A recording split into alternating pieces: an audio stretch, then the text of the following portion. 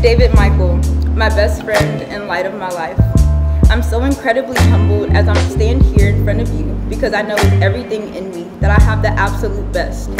The fact that you would choose me to walk through this life with is the greatest testament to Jesus' grace and love. Who would have thought that a marriage would come out of a camp friendship? Little did I know that Stony Creek Ranch would help unite me and my future husband. Before arriving at camp, I wrote in my prayer journal that I had two main objectives while I was there. The first, to serve, and second, to show kids the love of Jesus.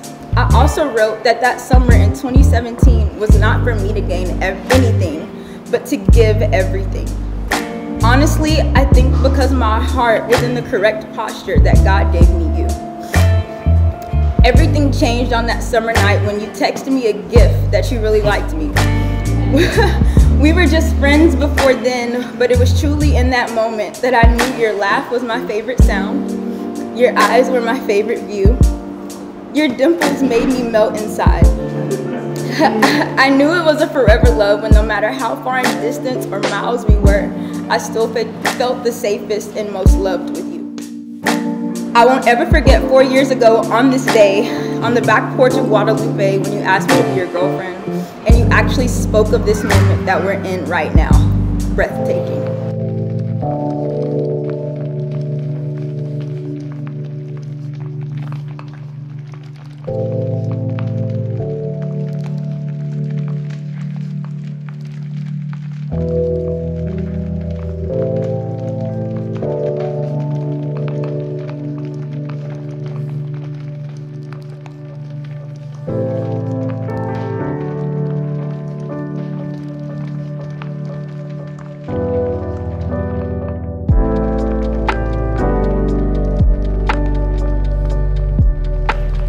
Jeremiah 31 31 says, Behold, the days are coming, declares the Lord, when I will make a new covenant with the house of Israel and the house of Judah.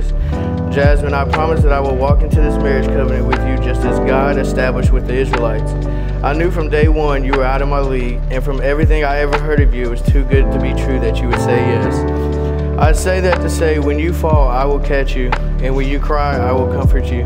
And when you laugh, I will share your joy. I promise to value the special strengths and gifts God fearfully and wonderfully created in you, to wholeheartedly commit myself to you, viewing our marriage as a lifelong co covenant before God, to love you as Christ loved the church, serving you in a sacrificial way, and submitting to you out of reverence for Christ, to speak words of life over you, communicate with humility in order to build you up, to be quick to listen and slow to speak, and quick to forgive, always extending grace and mercy as we grow in marriage. My only expectation of you is zero, and my expectation of myself is a hundred. Jasmyn Canese, I love you. By the authority of God and the laws of this state, I declare and decree that David Arechiga and Jasmyn Arechiga are now husband and wife. You may kiss your bride.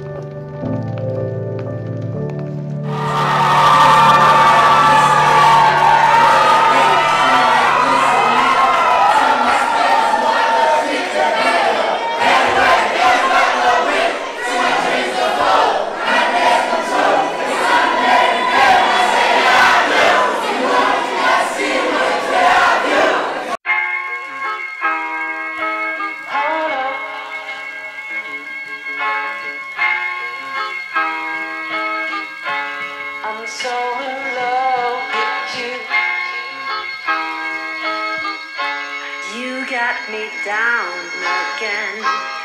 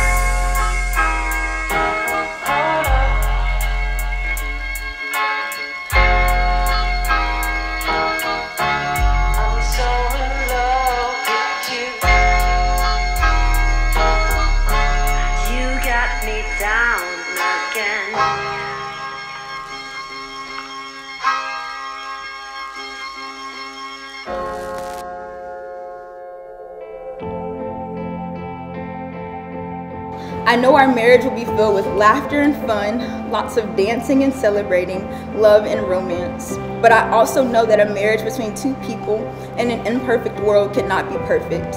But what I can promise is this. I promise to pursue Jesus first so that I can do my best to demonstrate his perfect love. I promise to honor you always. I promise to be gentle in spirit with you. I promise to see you with the same eyes and heart that I have for you in this exact moment even when times are hard. I promise to remember that our marriage is ultimately not about our happiness, but about our holiness. So I vow to lean on the promise and not the feelings because this covenant and commitment to God is worth everything. I promise to be a warrior with you and to fight for our love and our marriage. I promise that I will hold your hand and follow you wherever God is leading us. And finally, I promise to love you with my whole heart. Today is the easiest day of my life to rejoice in what God has blessed me with, and that's with you. This love that I have for you is not just a feeling, it's a choice and a promise. I choose you now, and I will choose you over and